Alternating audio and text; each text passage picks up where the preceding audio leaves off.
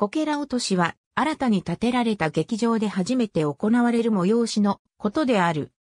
ただし、こけら落とし公演は来場者数が多くなり、出演者も大物であることが多いことから、実際には公演にあたっての手順を確認するなどといった名目でオープン後に複数の準備公演を実施してから正式なこけら落とし公演をするケースが多い。演目はそれぞれの劇場の特性に合わせた内容で、おおむね刑事の内容であることが多い。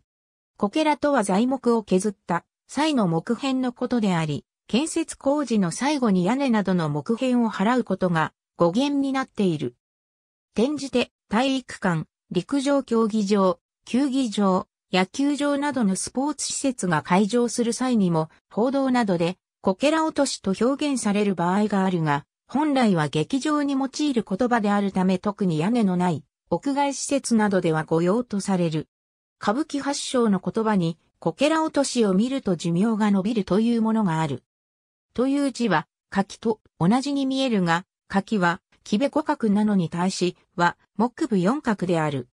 しかし、過去の文献によれば、両者は、明確には、区別されておらず、例えば、後期時点では逆になっており、両方とも書きとするものや、両字は同じ字の別字体と説明するものもある。これを根拠にして、実企画では、書きが両方の字を包摂するものとしている。これに対し、時点で区別されていないのは、後の混同によるものであり、時義を考えれば、こけらは、で書くべきとする説もある。ありがとうございます。